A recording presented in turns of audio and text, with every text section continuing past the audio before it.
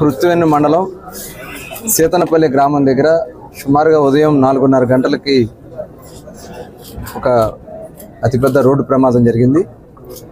ఈ ప్రమాదంలో దాదాపు ఆరుగురు మరి చనిపోవడం జరిగింది. అలాగే ఐదుగురు తీవ్రంగా గాయపడటం జరిగింది.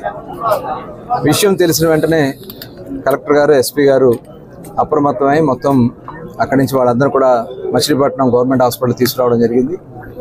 నిజంగా ఇది చాలా బాధాకరం చాలా బ్యాడ్ ఇన్సిడెంట్ వీళ్ళంతా కూడా మరి కాకినాడ నుంచి బంటుమిల్లి దగ్గర చేపలు చెరువుల్లో చేపలు పట్టే కోసం వాళ్ళు అక్కడి నుంచి రాత్రి ఒంటి గంటకు బయలుదేరి వస్తూ మార్గ మధ్యంలో నాలుగున్నర గంటలకి దోస్తు వెహికల్కిను అలాగే కంటైనర్కి ఓవర్టేక్ చేసే సందర్భంలో ఈ యాక్సిడెంట్ సంభవించింది.